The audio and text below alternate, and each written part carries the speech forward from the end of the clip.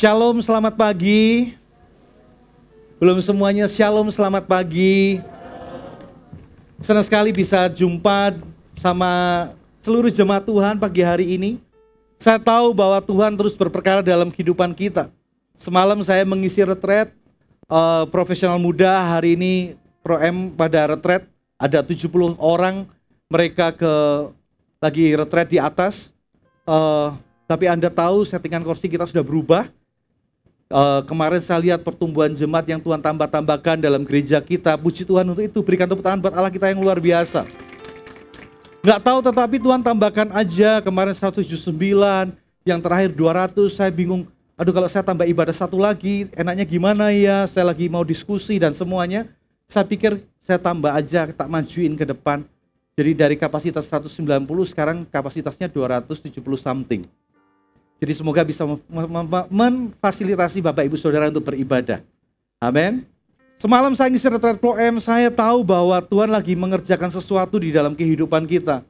Pada tahun ini ketika visi dicanangkan bahwa kita masuk ke dalam visi mimpi dan penglihatan, saya langsung menangkap dan saya merenungkan firman Tuhan itu.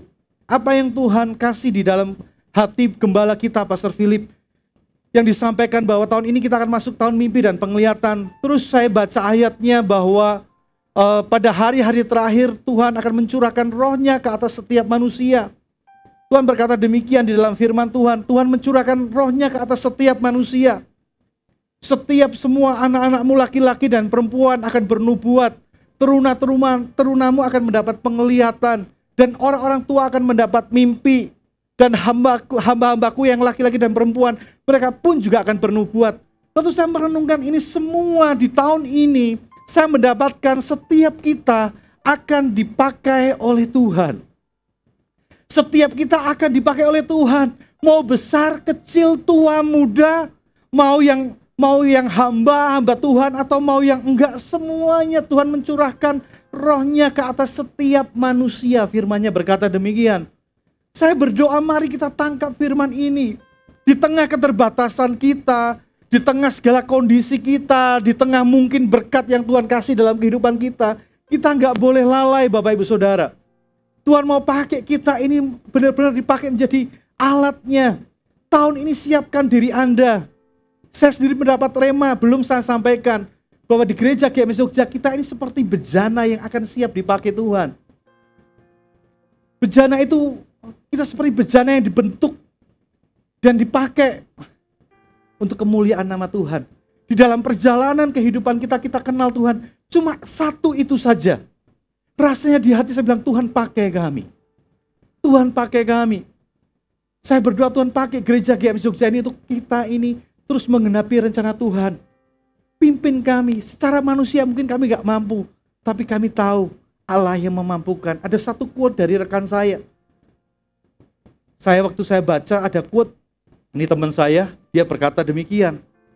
Tuhan tidak bertanggung jawab atas ketidakmauan kita. Tapi Tuhan bertanggung jawab atas ketidakmampuan kita. Tuhan tidak bertanggung jawab atas ketidakmauan kita, tetapi Tuhan bertanggung jawab atas ketidakmampuan kita. Kalau nggak mampu, Tuhan mampukan. Tapi kalau tidak mau, Tuhan gak paksa. Jadi Tuhan tidak bertanggung jawab atas itu. Tahun ini terbuka lebar kepada setiap kita.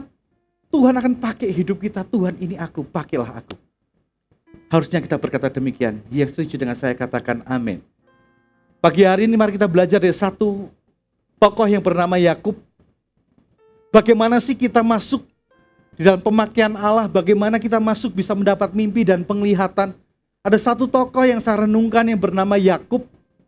Kejadian 28 ayat yang ke-12 sampai dengan yang ke-22. Kejadian 28 ayat yang ke-12 sampai dengan yang ke-22.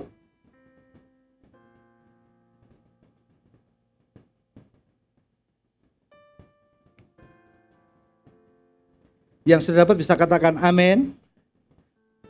Belum semuanya kejadian 28 ayat yang ke-12 sampai dengan yang ke-22. Demikianlah firman Tuhan. Kita akan baca bersama-sama, yang pria akan baca ayat yang genap, dan wanita akan baca ayat yang ganjil. Anda siap Bapak Ibu Saudara? Yang pria genap, wanitanya ganjil. Nggak apa-apa, pria mulai dulu karena kita imamnya. Satu, dua, tiga. Ya ayat ke sepuluh. Maka Yakub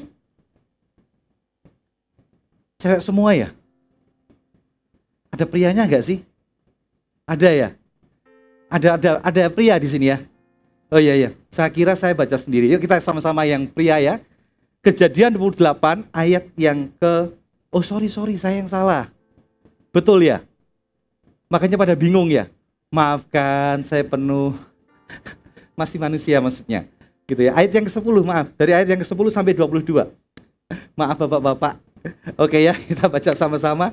Ayat yang ke-10 Bapak-bapak, Anda siap? 1 2 3. Maka Yakub berangkat dari Beersheba dan pergi ke Haran. 11.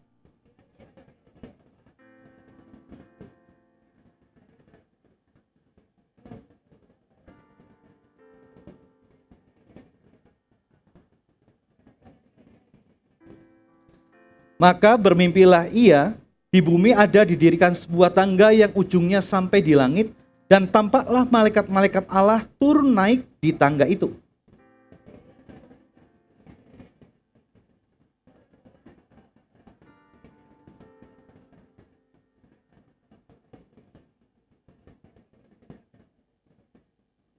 Keturunanmu akan menjadi seperti debu tanah banyaknya dan engkau akan mengembang ke sebelah timur, barat, utara, dan selatan.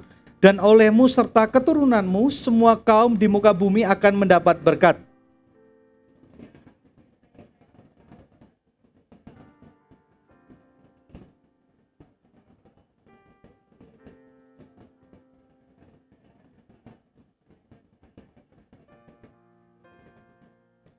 Ketika Yakub bangun dari tidurnya, berkatalah ia, "Sesungguhnya Tuhan ada di tempat ini dan aku tidak mengetahuinya."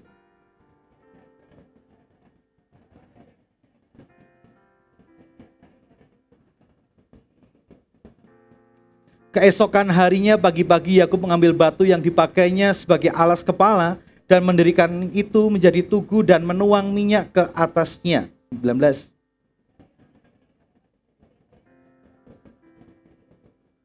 Lalu bernasarlah Yakub, jika Allah akan menyertai dan akan melindungi aku di jalan yang kutempuh ini, memberikan kepadaku roti untuk dimakan dan pakaian untuk dipakai,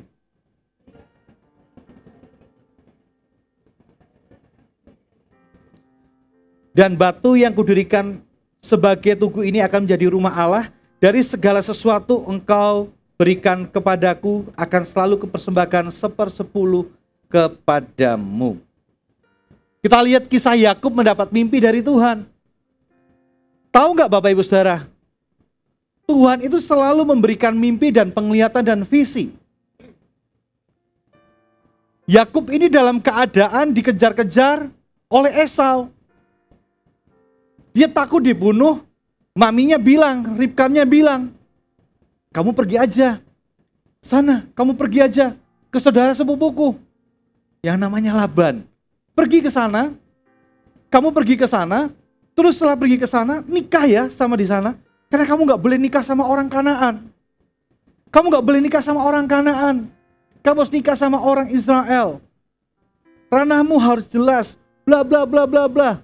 Untuk milih pasangan hidup aja nggak boleh main-main.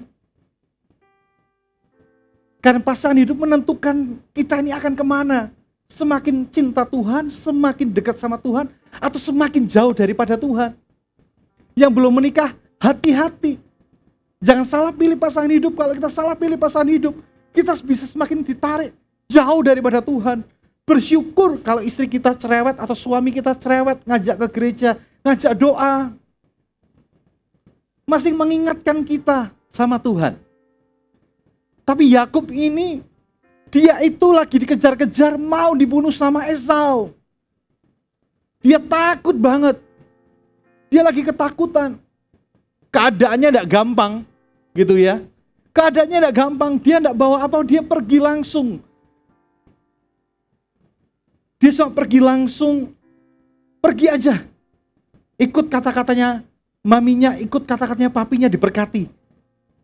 Sudahlah, Ishak juga memberkati. Akhirnya dia juga pergi. Waktu saya merenungkan ini Bapak Ibu Saudara, saya pikirkan bahwa kita ini made by design. Tuhan itu merancangkan kita itu by design. Nggak ada yang nggak ada yang sama. Setiap orang ini beda-beda rancangannya. Nggak bisa bandingkan si A dengan si B. Sekalipun kembar pun pasti beda. Nggak bisa bandingkan pebisnis ini dan pebisnis itu. Setiap orang punya caranya masing-masing. Nggak bisa bandingkan karyawan ini dengan karyawan itu. Nggak bisa bandingkan ini dengan itu. Setiap kita made by design pasti unik. Nggak sama. Jadi kita harus ngerti. Nggak ada orang yang sama. Waktu itu saya tahu bahwa waktu Tuhan ciptakan saya, Tuhan itu punya rancangan yang terbaik. Made by design. Dirancangkan untuk sesuatu. Bukan untuk tujuan yang bukan untuk tujuan yang biasa-biasa.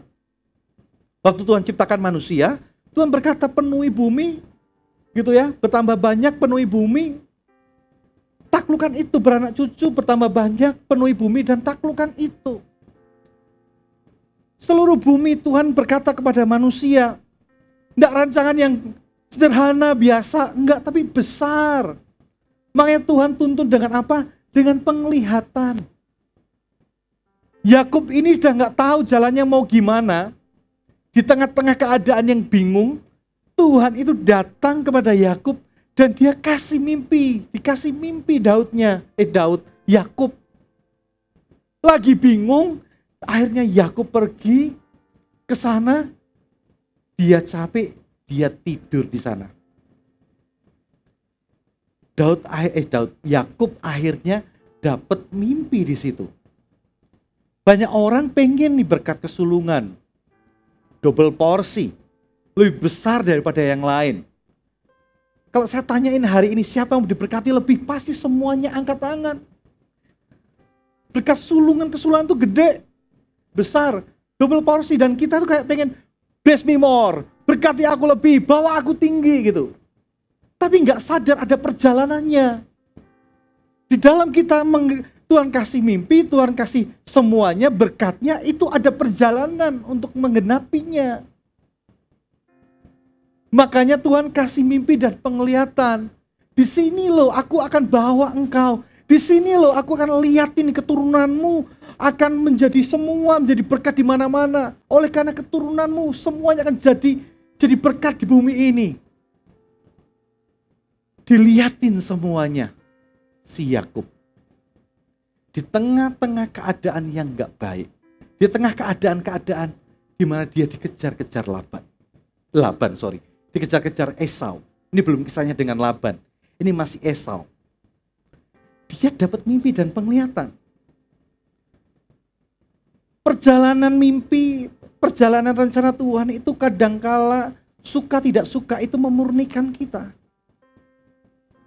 Tidak mungkin orang itu kalau mau mengenapi rencana Tuhan, nggak ada prosesnya. Sekalipun orang itu diberkati dengan berkat kesulungan, udah diberkati.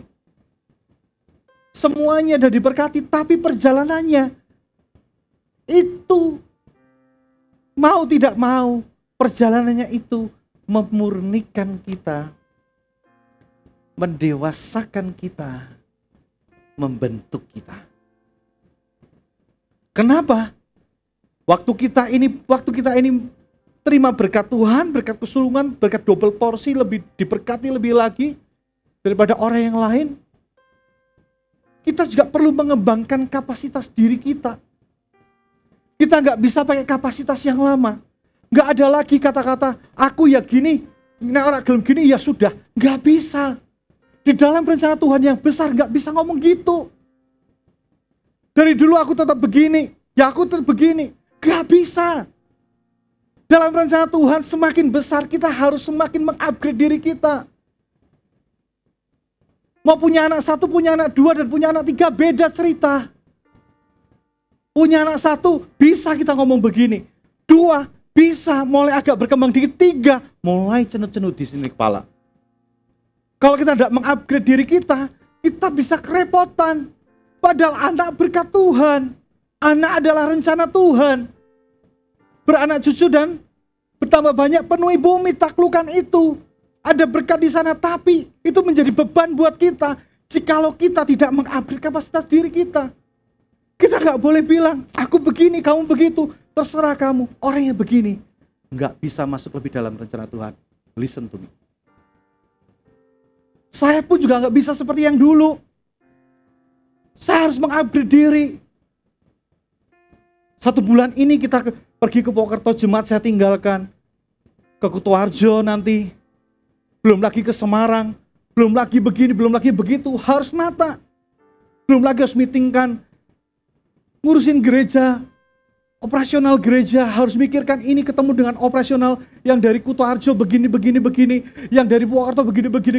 It's not easy kalau saya cuma hanya mikirkan skup yang kecil gini kita nggak bisa jalan. Nggak bisa kita dapat berkat kesulungan. Double porsi jauh dari kita. So, we must change. Kita harus berubah. Ada amin. Perjalanannya itu kadangkala ada darah, air mata, bahkan tetesan air mata, keringat. Semuanya perjalanannya, tapi ujungnya di sana adalah berkat kesulungan double porsi naik bukan turun, kepala bukan ekor. Amin. Ada amin Bapak Ibu Saudara. Kita harus ngerti hari ini. Semakin banyak jemaat kita gembalakan, semakin banyak rupa-rupa warnanya. Ceritanya masing-masing, satu punya pergumulan ini, satu punya pergumulan ini, satu begini, satu begitu. Semuanya masing punya rasa masing-masing, tapi nggak apa-apa. Nggak bisa kapasitasnya begini terus kita ngomong, oh ini gini. Nggak bisa. Itu saya merenungkan Tuhan. Yakub ini dapat mimpi. Dan penglihatan di waktu-waktu dia tidak gampang. Kok bisa ya Tuhan? Tuhan berkata gini, semakin orang dekat dengan rencana Tuhan, semakin tekanannya semakin berat dan sulit. Jadi kalau ada tekanan, ada masalah Bapak Ibu Saudara, Bahkan sampai nyawa taruhannya Yakub mau dibunuh, udah terima ini dan semuanya diberkati. Seolah mau dekat aja belum genapi, belum ini, belum nikah, belum apa rasanya masih panjang ke sana. Keturunannya akan mendapat, keturunannya akan menjadi berkat dan semua semua yang lain, hal-hal yang lain masih panjang ke sana. Tapi waktu kita terima rasanya kok langsung ada kendala di sana dan di situ. Karena di dalam perjalanan itu Tuhan mendewasakan dan memurnikan kita. Ada amin. Tapi semakin kita mendekati visi, berat rasanya. Sama seperti orang yang lagi hamil. Tanya sama mami-mami yang sudah punya anak. Waktu sudah mendekati hari H, lebih gampang atau lebih sulit hidupnya? Saya ada segini sudah enam bulan, berat banget rasanya. Apalagi sudah, apalagi yang di sana gitu. Apalagi kalau kita nih misalnya lebih lebih dekat dengan hari kelahiran, perutnya semakin gede. Ya kan? Jadi jangan doakan saya, lebih gede perutnya. Gitu. Tapi kalau mami-mami kita tanya, semakin dia mau lahiran, perutnya semakin besar, jalannya sudah sulit. Tapi saya senang kalau lihat orang ibu hamil, saya senang. Hidungnya pasti gede. Nafas buat dua orang. Makanya saya sering ledekin. Hidung kok besar sekali. Dulu Ibu Imal saya senang banget ketemu. Mel, hidupmu kenapa? Di zoom ya jadi gede. Lucu gitu ya. Biasanya cute gitu, tapi ini jadi gede gitu ya. Tak ledekin terus, tapi semakin dekat visi. Semakin dekat ke visi, semakin berat rasanya. Kok berat ya? Kok berat jangan nyerah. Berarti sebentar lagi nih waktunya, lahiran. Semakin bentar lagi nih Tuhan mau genapi rencananya. Jangan Jangan nyerah di tengah jalan. Tuhan tidak pernah memberkati orang yang keluar dari rencana Tuhan. Ada gesekan, jangan lari. Besi menajamkan besi, manusia menajamkan sesamanya. Bukan memutuskan sesamanya. Besi menajamkan besi, manusia menajamkan sesamanya. Saling menajamkan, eh, saling mendewasakan, saling mengerti. Bukan akhirnya beli putus hubungan dada pergi. Aku nggak mau kontak-kontak sama orang ini. Orang ini begini dan begitu. Anda keliru terjemahkan firman Tuhan. Perlu banyak merenungkan firman. Amin. Kalau ada gesekan, nggak apa-apa, selesaikan. Biasa gesekan. Dan gesekan pasti dengan orang-orang yang bersinggungan dengan kita. Bukan orang yang jauh tiba-tiba langsung gesek kita. Enggak. Aku dulu Pak jengkelnya orang yang dekat sama saya, itu loh Pak gak bisa ngerti saya. Yang menggesekkan itu memang dari orang yang paling dekat dengan kita. Halo. Amin. Makanya kita harus menyiapkan diri. Tapi semakin dekat kepada visi, semakin berat rasanya tantangan. Tapi di sana Tuhan tidak pernah berhenti. Ada harga yang harus kita bayar. Waktu kita mau ngadopsi visi kerajaan Tuhan, ada harga yang harus dibayar. Kita harus siapkan itu Bapak Ibu Saudara. Kenapa kok Tuhan kasih mimpi? Ada tiga fungsi mimpi. Yang pertama adalah mimpi itu selalu membuat kita semakin dekat dengan Tuhan. Mimpi itu harusnya membuat kita semakin dekat dengan Tuhan. Anda pengen diberkati, Anda pengen perusahaannya begini dan begitu. Enggak apa-apa, Tuhan kasih mimpi. Tapi seharusnya dengan mimpi itu Anda harus semakin dekat dengan Tuhan. Bukan malah semakin jauh dengan Tuhan. Kalau itu membuat semakin jauh dari dengan Tuhan, berarti itu bukan mimpi. Itu kedagingan kita. Mimpi yang dari Tuhan selalu membuat kita semakin dekat dengan Tuhan. Lu ada Tuhan di sini. Aduh ada di sini, aku mau cari getol sama Tuhan. Kalau itu bukan mimpi itu enggak, enggak membuat kita dekat dengan Tuhan. Hati-hati Anda sedang salah jalan. Yang ada harus repent, turn around, come back, kembali. Kembali. Kalau Anda dapat mimpi tapi ada langsung jauh dari Tuhan, be careful. Itu bukan dari Tuhan. Hati-hati. Berkat pun bisa jadi berhala. Ingat, Tuhan bandingannya bukan sama dosa, Tuhan bandingannya sama apa? Mamon. Remember. Harus ingat-ingat itu Bapak Ibu Saudara. Tuhan pengen kita diberkati Tuhan, tentu pengen. Tapi waktu kita punya mimpi besar dan ini dan itu. Tapi hatinya jauh dari Tuhan. Be careful. Berarti gimana Pak? Saya harus tinggalkan usaha ini? Bukan luruskan motivasi, kembali ke jalan Tuhan. Jalankan, tapi kembali ke jalan Tuhan.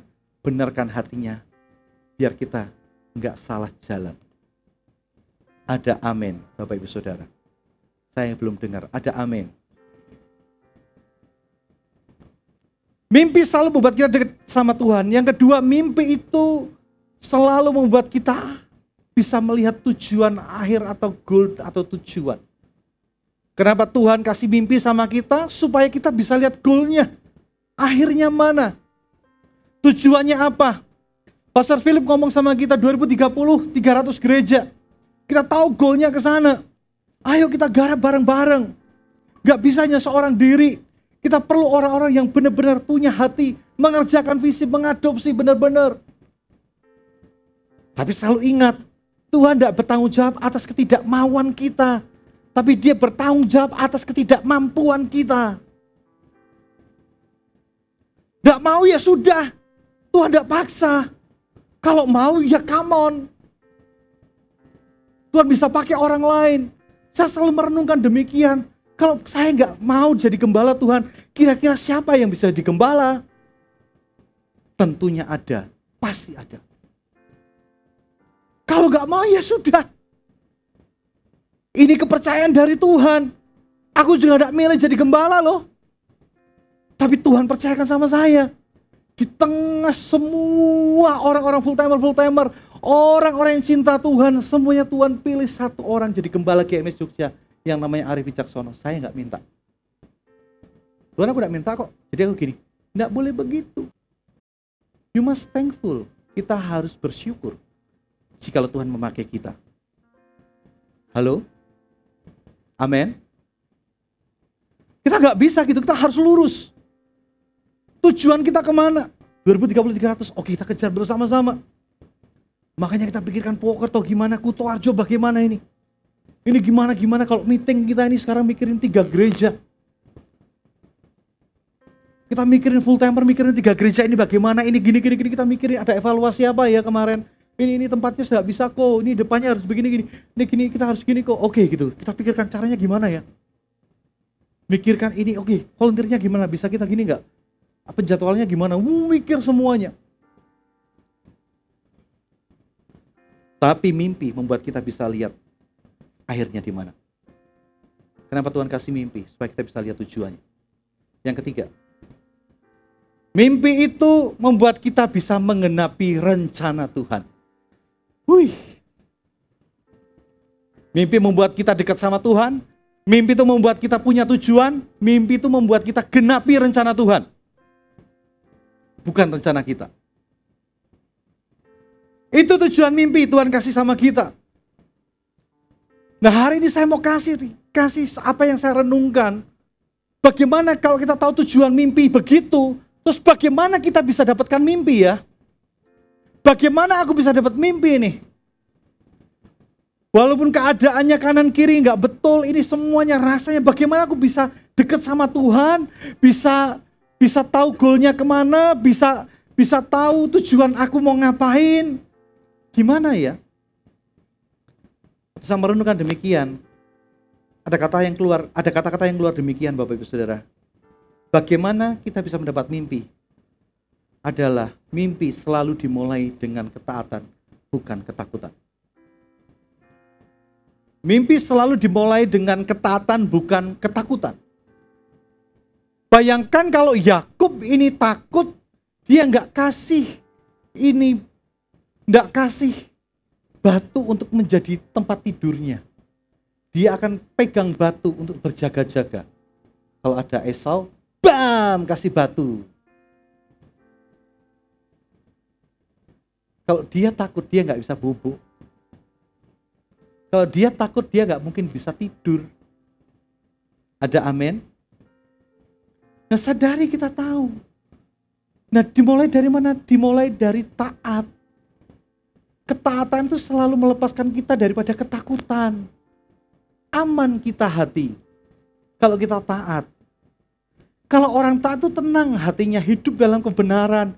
Gak takut dipontang panting, sudah tenang saja, taat saja. Tetapi nanti begini dan begitu nggak apa-apa, taat aja. Ketaatan itu yang membuat kita masuk ke dalam rencana Tuhan. Yakub ini taat sama maminya, suruh pergi sama Yakub, sama Ishak ayahnya. Yakub selalu mulai dengan ketaatan. Kita harus buang segala ketakutan. Ada tiga ketakutan di dalam kehidupan kita yang harus kita menang untuk kita dapat mimpi. Mari kita buka sama-sama di Matius yang ke-10 ayat yang ke-26 sampai dengan yang ke-33. Matius 10 ayat yang ke-26 sampai dengan yang ke-33. Kita ngerti mimpi tujuannya apa dan mimpi itu dimulai dari ketaatan bukan ketakutan. Kalau gitu kita harus mengalahkan ketakutan. Ketakutan apa yang harus kita kalahkan? Ada tiga. Kita buka sama-sama. Matius 10, 26 sampai dengan 33. Yang dapat bisa katakan yes. Belum semua, lebih antusias lagi Bapak Ibu Saudara. Yang sudah dapat bisa katakan yes. Jadi janganlah kamu takut terhadap mereka karena tidak ada suatu apa pun yang tertutup yang tidak akan dibuka dan tidak ada sesuatu pun yang tersembunyi dan yang tidak diketahui. Apa yang apa yang kukatakan kepadamu dalam gelap, katakanlah itu dalam terang. Dan apa yang dibisikkan ke telingamu, beritakanlah itu dari atas atap rumah. Yang kedua, dan janganlah kamu takut kepada mereka yang dapat membunuh tubuh, tetapi tidak berkuasa membunuh jiwa. Takutlah terutama kepada dia yang berkuasa membinasakan baik jiwa maupun tubuh di dalam neraka.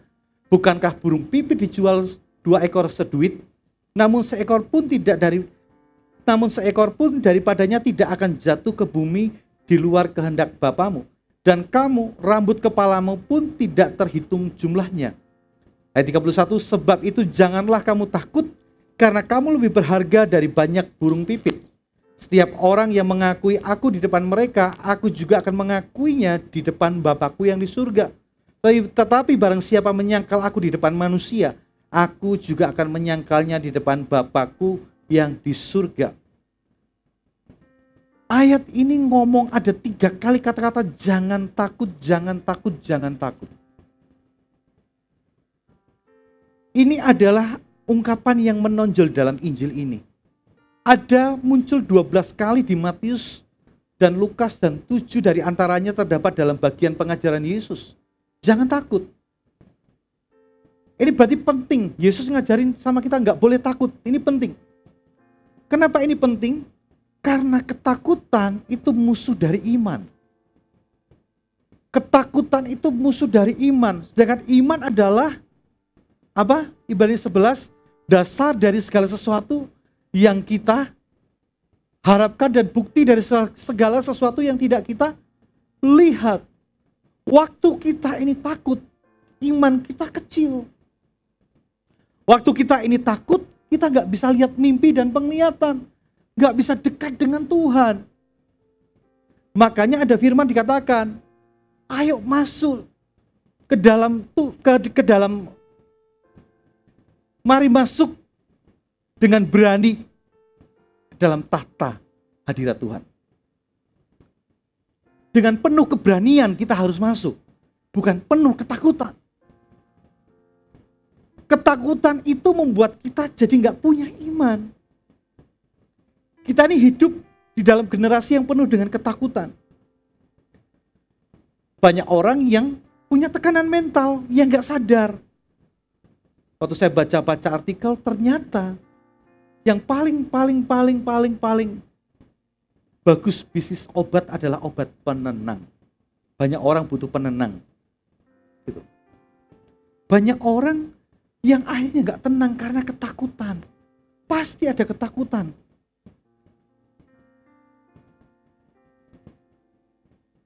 Ada seorang ahli bedah gitu ya, dia berkata bahwa 70% dari penyakit penyakit yang dia atasin tidak diakibatkan oleh masalah jasmani, tetapi dipicu karena ketegangan saraf, tekanan rasa takut dan khawatir. Lucu ya, bukan karena masalah jasmani tapi masalah-masalah mental. Gitu. Mereka cuma ngomong gini, seorang dokter ini bilang gini, percaya sama Tuhan, karena dia adalah sumber damai sejahtera bukan cuma ngobatin bedah saraf saja, tetapi dokter ini berkata, percaya sama Yesus. Gitu. Ada seorang dokter yang namanya Martin Lyot Jones. Seorang ahli jantung di Inggris. Saya baca gitu. Dia ngajarin waktu jantung itu sumbernya dari mana? Dari ketakutan. Jantung itu sumbernya dari ketakutan. Akhirnya dia dia letakkan jabatan dokter dan dokter Martin Lloyd Jones ini dia tinggalkan itu untuk dia jadi hamba Tuhan sekarang. Saya bilang, oh iya iya. Seringkali radang pencernaan terjadi bukan karena salah makan. Tapi banyak pikiran sehingga asam lambung naik, pencernaannya terganggu.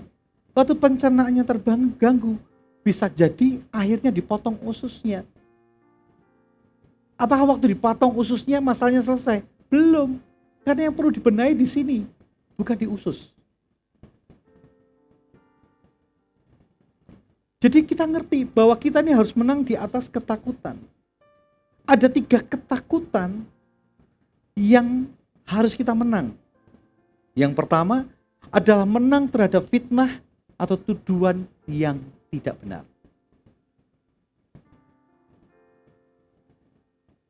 Kita harus menang terhadap fitnah dan tuduhan yang tidak benar. Ayat 26. Janganlah kamu takut terhadap mereka karena tidak ada sesuatu pun yang tertutup yang tidak akan dibuka dan tidak ada sesuatu pun yang tersembunyi yang tidak akan diketahui. Banyak orang tuh stresnya karena apa? Mikirin fitnah. Oh, gerejanya begini, gerejanya begitu, gerejanya ini, gerejanya itu. Tenang aja. Gak usah dengarkan itu. Hati kita harus benar. Lurus saja. Gak usah takut.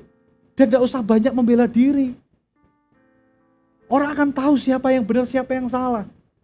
Tapi dalam hal ini, kalau itu bukan ranah kita, biarin aja.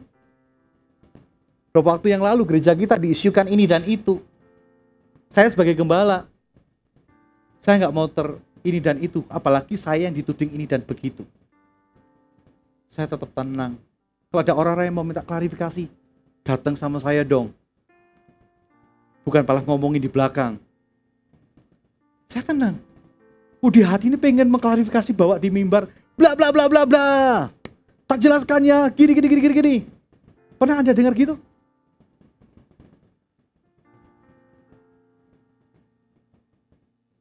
Orang yang selalu takut fitnahan, tuduhan yang nggak betul. Kalau ada sesuatu yang dibereskan di dalam hatinya,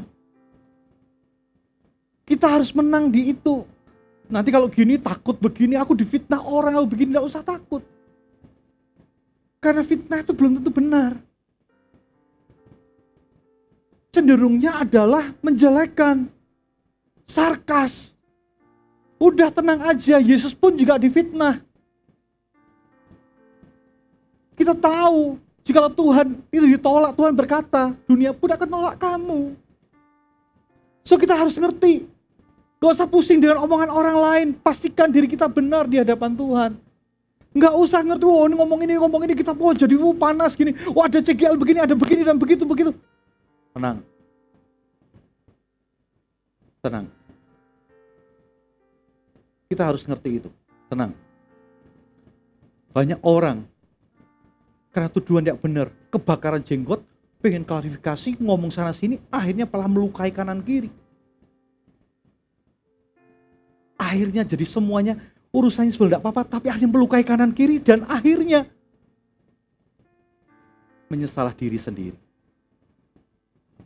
Tenang. Jangan takut. Tidak ada sesuatu pun yang disembunyikan ya yang tak mungkin dibuka. Yang benar akan kelihatan. Sudah tenang saja. Kalau ada orang fitnah kita Bapak Ibu Saudara, jangan cepat-cepat membela diri. Tenang. Bawa doa Tuhan, ampuni mereka. Tuhan ampuni mereka. Kalau mereka menfitnah aku. Tapi kita harus cross check diri kita. Aku gitu nggak sih? Kalau enggak, amanlah diri kita. Banyak orang ngomong ini dan itu. Gak usah pusing, banyak orang tuh mau dapat mimpi tapi pikirnya sudah gini, oh ini sih ngomong ini, ngomong itu, ngomong ini, ngomong ini. Men, kita nggak ditentukan dari omongan manusia, kita ditentukan dari apa yang dikatakan oleh firman Allah. Ada amin. Banyak orang pusing dengan perkataan orang lain. No, no, no. Jangan. Kita harus tahu. Kita harus menang terhadap itu. Yang kedua, ketakutan akan kematian. Ayat yang ke-28. Janganlah kamu takut terhadap mereka yang dapat membunuh tubuh, tetapi tidak berkuasa membunuh jiwa. Takutlah terutama kepada dia yang berkuasa membinasakan baik jiwa maupun tubuh di dalam neraka. Tuhan berkata, jangan takut terhadap orang yang membawa kematian, tidak, tidak usah takut. Gitu. Gak usah takut. Kita nggak boleh takut kematian. Karena kita tahu setelah kematian kita beroleh kehidupan kekal. Banyak orang kematiannya bukan kematian jasmani, tapi kematian usaha. Jangan berpikir demikian, tenang aja. Loh Bapak tidak ngalami sih. Memang saya tidak ngalami. Tapi firman Tuhan ngomong, jangan takut. Takut akan Tuhan itu yang pertama, jalannya Tuhan tuntun nanti. Jangan buru-buru ambil konklusi, Tuhan belum selesai dengan kita. Banyak orang mikir nanti usahaku begini, begini, gitu, sini gimana. Taruh dulu di bawah kaki Tuhan. Tuhan tuntun kok. Saya yakin Tuhan akan tuntun kita kok. Mimpi dan penglihatan itu membuat kita tahu jalannya ke mana. Ada orang yang membutuhkan seperti itu, Tuhan akan kasih mimpinya kok. Tapi kita harus bereskan dulu hatinya, kita sudah boleh ada ketakutan. Nanti bantalnya nggak ditaruh di bawah, tapi digocei, dipegangin. Buat apa? Buat kalau ada yang lawan. Bantal inilah. Dengan kekuatan sendiri Yakub diajari Tuhan untuk dapat mimpi bukan dengan cara diri sendiri, tapi dengan cara Allah. Dia mikirkan strategi-strateginya. Dia ngatasinnya Esau bagaimana kalau kita lihat kisahnya nanti. akan ada Esau, ada bla bla bla bla bla. Jalannya demikian, jalannya begitu dan begini. Ininya dulu semuanya budak-budaknya suruh jalan dulu. Bingung diparani 400 orang di, diparani, di didatangi 400 orang bingung bagi dua pasukan yang sini dan situ nanti kalau ini dibunuh kita bisa lari ke mana dan semuanya ditata semua Yakub diajarin Tuhan untuk percaya Tuhan jangan pegang batumu taruh batumu percaya sama Tuhan. Ada amin. Banyak orang masih pegangin batu. Ketakutan. Nanti kalau gini aku, waduh mati aku gimana nih nanti. Ada jalan keluar nih, usahaku gimana. Nanti jalan keluar ini gimana nih, usahaku gimana. Nanti jalan keluar untuk ini gimana. Ini semuanya, aduh nanti gini, udah umur pasangan hidupku gimana, ini sudah umur sekian. Masih pegangin batunya. Mau dapat mimpi, taruh batunya. Jangan dipegangin. Yang ketiga, takut terluka. Takut terluka. Tuhan ngomong demikian. Sebab itu jangan, janganlah takut sebab kamu lebih berharga daripada burung pipit. Kalau burung pipit jatuh, itu ada kehendak Tuhan. Tapi tahu nggak gimana cara burung pipit jatuh? Di zaman itu, gimana cara membu membunuh, menjatuhkan burung pipit adalah dengan melempar batu dan akhirnya terluka, burung pipitnya jatuh. Kamu ini lebih berharga dari burung pipit. Tuhan jagain kita kok. Kalau kita terluka Tuhan tuh sayang sama kita, Tuhan akan balut luka kita. Banyak orang takut melangkah dalam mimpi lebih dalam karena takut terluka aduh gak mau lah ribet-ribet lah nanti gini nanti pasti gesekan pasti begini nanti aku takut ini malah aku ngecewakan orang aku dikecewakan orang aku begini dan begitu banyak orang gak bisa masuk dapat mimpi karena dia takut di situ Gak usah takut terluka selama kita ada di dalam jalan Tuhan. Waktu itu kita terluka, Tuhan akan ngobatin kita. Dia adalah gembala yang agung itu. Dia membalut luka-luka semua domba-dombanya.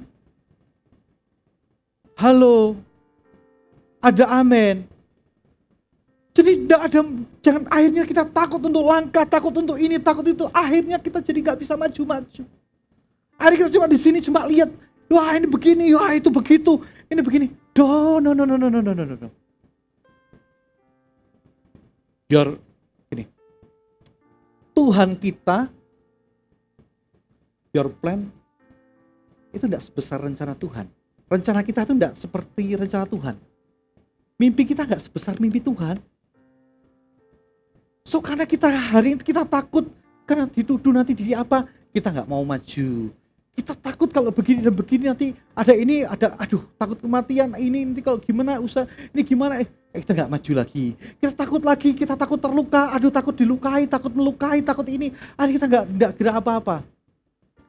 Life is process. Hidup adalah proses. Tapi tiga ini kita harus menang. Nah bagaimana kita mengatasi ketakutan? Yang pertama caranya adalah dihadapi bukan dihindari. Banyak orang masih ada di dalam ketakutan karena apa? Dia nggak mau hadapi ketakutan, dia lari dari ketakutan. Hadapi ketakutannya. Yakub ini bergumul dengan Allah di dalam ketakutannya dia bergumul sama Tuhan. Dia bergumul sama Tuhan. Bahkan kita kita lihat bahwa Daud bergumul dengan Allah. Semalam malamnya, semalam malaman sehingga apa? Pangkal pahanya dibam. Langsung nggak bisa jalan. Bisa bilang, ingat jalan bukan jalanku.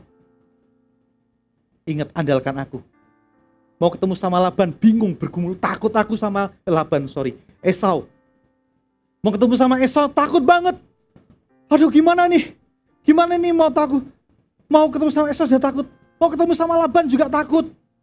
Dia larikan diri, akhirnya Tuhan yang tolong, ya tolong si Yakub muncul sama Laban berkata, Dadam, jangan ngomong sembarangan sama Yakub. Hati-hati karena perkataanmu. Itu akan jadi jebakan buat kamu dan keturunanmu. Uh ya, silaban ketakutan. Ketakutan. Tapi waktu itu dia bergumul dengan Allah waktu mau ketemu Esau. Dia pengen lari kan. Ada pasang strategi, akhirnya kalau ini tidak bisa, ini tidak bisa, lari. Kalau ini tidak bisa, ya sudah selesai. Gak mau ikut-ikut. Bye-bye. Yakub kasih senggol sedikit pangkal pahanya. Bam! Karena dia ngomong cuma hanya pakai tongkat aja. Aku punya apa? Pakai tongkat. Mau lari. Orang pincang mau lari sama orang waras. 400 pasukan.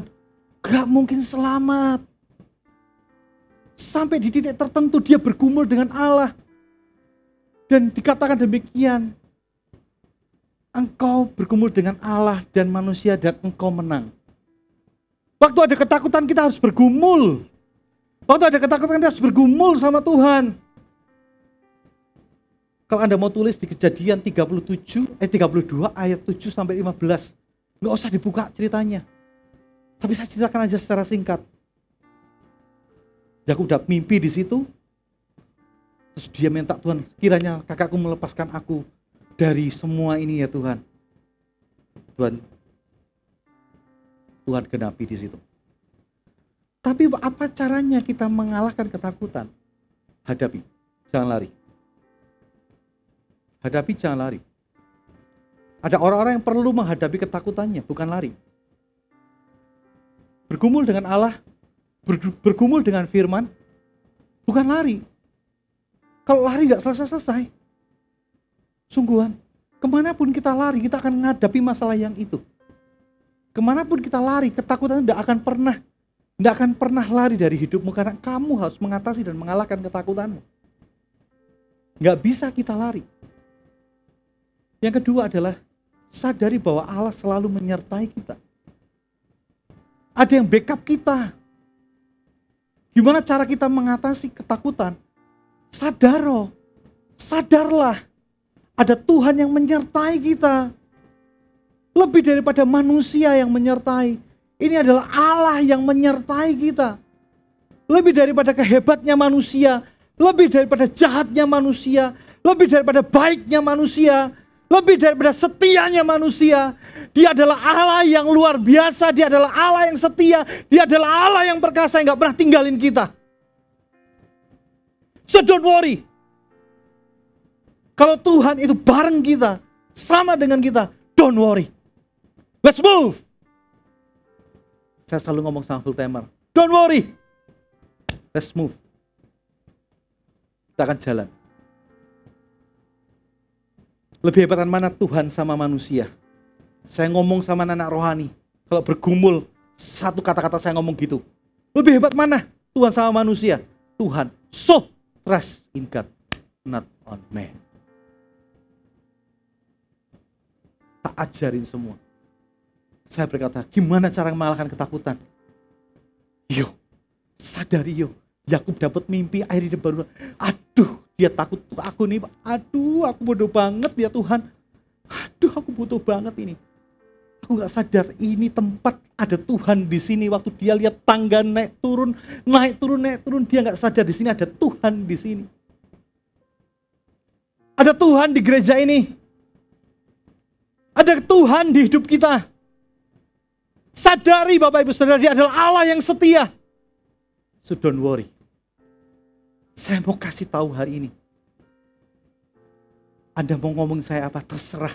I don't care. Tapi saya mau kasih tahu firman Tuhan, kebenarannya demikian. Sadari, waktu sadar. Yang ketiga, bagaimana cara mengatasi ketakutan. Dia bikin mesbah, tuangkan minyak. Itu ada, artinya adalah menyatakan hati yang mengucap syukur kepada Tuhan. Gimana cara mengatasi ketakutan? bukan dipikirin ini dan itu. Thanksgiving. Ucapan syukur. Makasih Tuhan buat masalah ini. Terima kasih Tuhan buat Jumat yang gini. Terima kasih Tuhan buat ini dan itu. Thanksgiving. Waktu kita mengucap syukur, artinya kita sudah bisa menerima keadaan banyak orang tidak mau terima keadaan sehingga dia selalu ada di dalam ketakutan. Waktu kita mengucap syukur, kita bisa menerima keadaan. Waktu kita bisa menerima keadaan, kita bisa mengatasi keadaan itu. Waktu kita mengucap syukur, Itu tandanya kita menyadari bahwa Allah nggak pernah tinggalkan kita. Waktu kita mengucap syukur, itu adalah tanda bahwa ada kebaikan di dalam proses yang ujungnya kemenangan yang Tuhan sediakan dalam hidup kita. Waktu kita mengucap syukur. Coba katakan sama-sama, terima kasih Tuhan. Buat semua proses, buat semua berkat yang kau berikan dalam hidupku. Katakan terima kasih Tuhan. Ada proses, ada apa? Enggak apa. Terima kasih Tuhan. Makanya Yakub itu semuanya ngomong betal. Kejadian 35 ayat 14 sampai 15. Catat aja ayatnya saya akan buka. Tapi itu yang tadi saya ceritakan. Tapi ini kita buka sama-sama ayat terakhir. 1 Tesalonika 5 ayat yang ke-18. Saya minta PAW bisa maju ke depan.